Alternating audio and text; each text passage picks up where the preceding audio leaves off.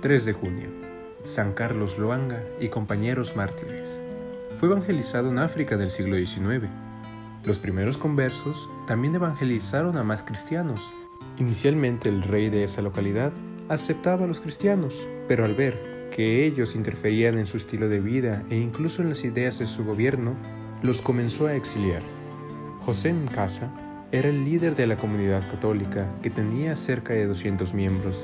El rey mandó a José a la hoguera y mientras sus verdugos le amarraban las manos, él les dijo, un cristiano que entrega su vida por Dios no tiene miedo de morir.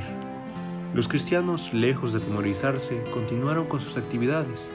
Carlos Luanga reemplazó a José como jefe de la comunidad cristiana. Pronto estalló la tempestad y los cristianos fueron capturados y llevados ante el rey. Este les preguntó si querían seguir siendo cristianos. Hasta la muerte, respondieron ellos al unísono. Por ello el rey ordenó que los ejecutaran en la hoguera. Uno de los jóvenes era el hijo del verdugo. Este le rogó para que se escapara, pero no fue aceptada su propuesta. A tres de los jóvenes mártires se les quitó la vida cuando iban por el camino. Los restantes fueron encerrados siete días en prisión bajo condiciones infrahumanas. En el día de la ascensión del Señor del año 1886, fueron sacados de la prisión, envueltos en unos juncos y ordenados en fila, se les prendió fuego. Al hijo del verdugo le dieron un golpe en la cabeza para que no sufriera al ser quemado.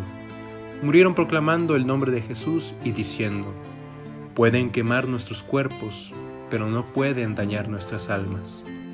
San Carlos Luanga y compañeros mártires, rueguen por nosotros.